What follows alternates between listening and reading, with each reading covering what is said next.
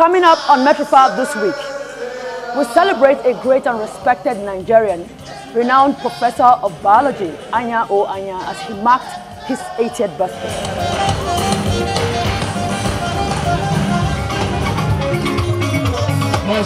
Also on the show, veteran journalist Alhaji Moshood Rotimi Bisiriyu is 60 and loving every moment of it.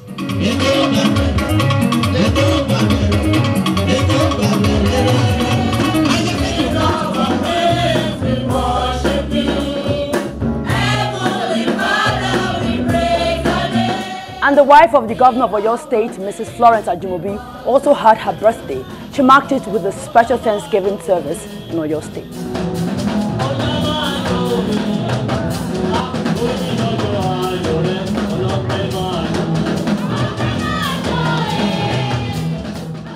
Here we are again. Welcome to our show. It's always a delight to present yet another edition of mm-hmm. Metrofile. Just a perfect way to start your weekend. So wherever you are, whatever you're doing, come on. It's time for the show. And as you've seen earlier, we are celebrating great Nigerians Yes, who, are, who are marking their birthday today. So it's going to be a great time on the show. So join us to celebrate them. Of course, they will. And hello, everyone. It's the Easter edition of Metrofile. Mm-hmm. So happy Easter. Yeah.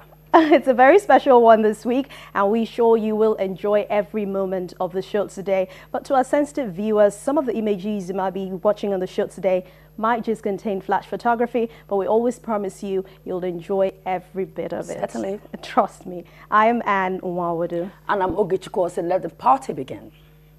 He is an educationist, an administrator, a boardroom guru, a husband, a father, grandfather, and most importantly, a patriotic Nigerian. I present to you the latest octogenarian, a chartered biologist, and a renowned professor, Chief Anya O. Anya. Take a look.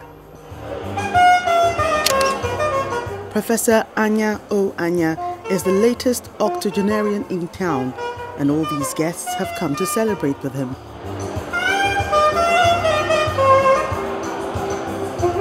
The celebration of his 80th birthday began with a cocktail.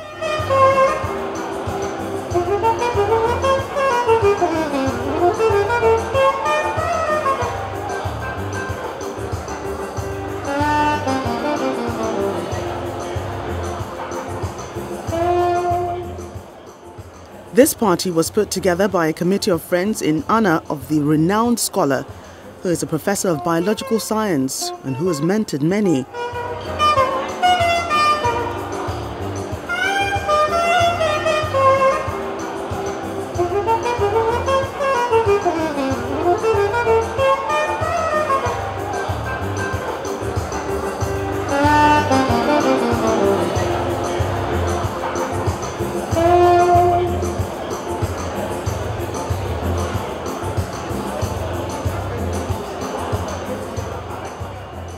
The occasion was declared opened by the chairman of the planning committee, Mr. Udeme Ufot.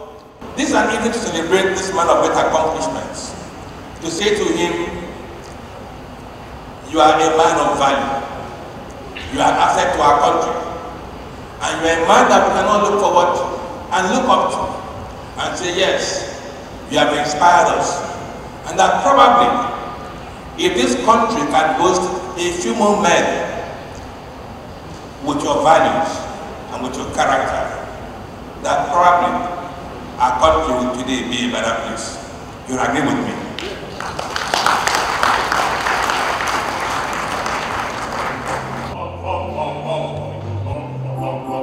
The cheerful looking professor is all smiles on this special day, accompanied by his wife of over 50 years, Lady Inyang. They enjoyed every moment. The Lagos City Choral entertained everyone with smooth renditions of some evergreen songs.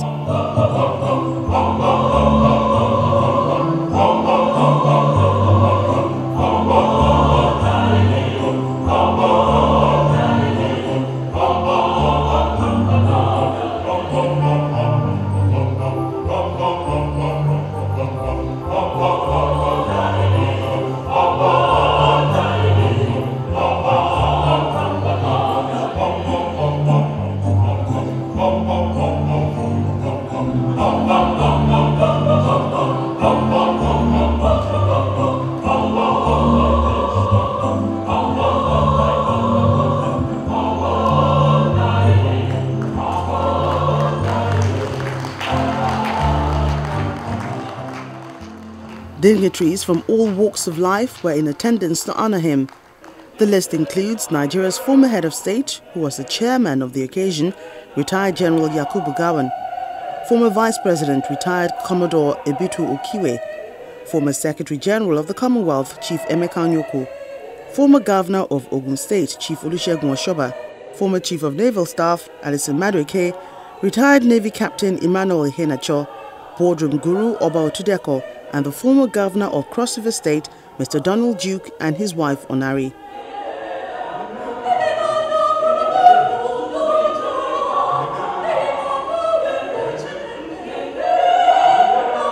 Others are founder of the Center for Values and Leadership, Professor Pat Utomi, elder statesman, Chief Ayo Adebanjo, publisher of the Vanguard newspapers, Mr. Sam Amuka, former chairman of the Punch newspaper, Chief Ajibola Ogunshola, and wife Iyabo, and the former chairman of the Nigerian Human Rights Commission, Professor Chidi Odinkalu, who reviewed the celebrant's latest book titled Time, Thoughts and Ideas, a two-volume book of 840 pages made up of selected papers presented by the professor. And there are five themes that you will get in these papers. One is leadership, and it's, it's not an accident that the, the, bright, uh, the brightest of Nigerian leaders are here this evening. The second is values, the values that underpin leadership. The third is human capital development. The fourth is education, and the fifth is science, engineering, and technology. And all of these he argues coherently and links very rigorously in the, in, in the volumes. The book review was followed by the official launch, which was conducted by Mr. Donald Duke. None of us here, if we were not told, would accept him as an 80 year old.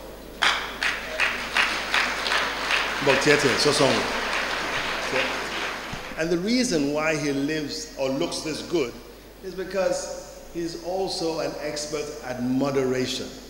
He does not seek what he does not need. He's content with life. Distinguished ladies and gentlemen, this book, whom we are all privileged to present to the audience here and beyond, Times, Thoughts, and Ideas, selected papers of Professor Anya O. Anya is hereby presented to all of us, to posterity, for the betterment of our society and for future generations. I thank you.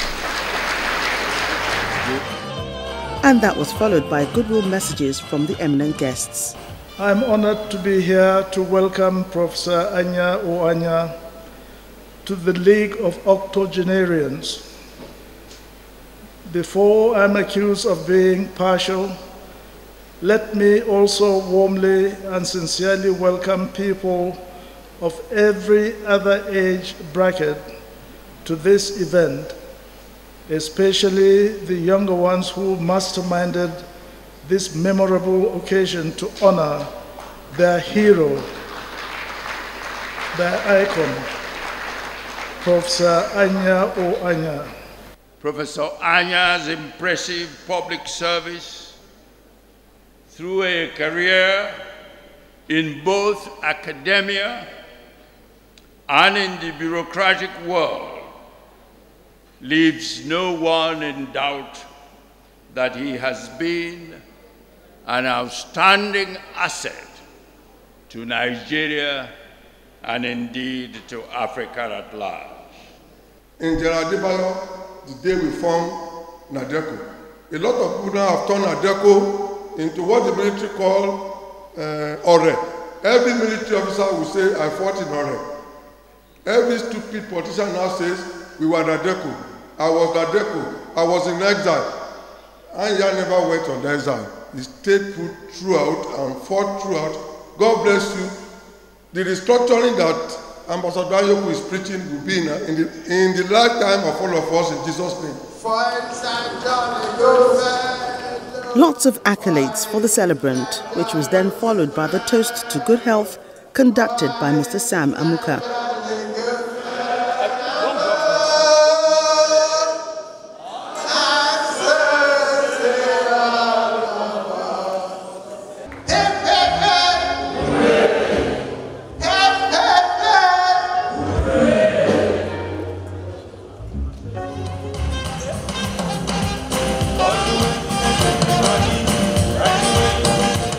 The well-respected Professor Anya O. Anya became a professor at the age of 36.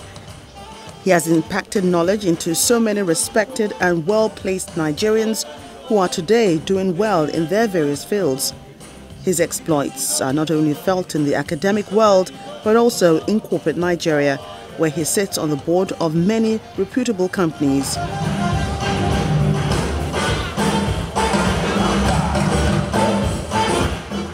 He is currently the Pro-Chancellor of the Michael Okpara University of Agriculture, Umudike, and the Chairman of the Alpha Institute. We celebrate with him on this special day and wish him all the best.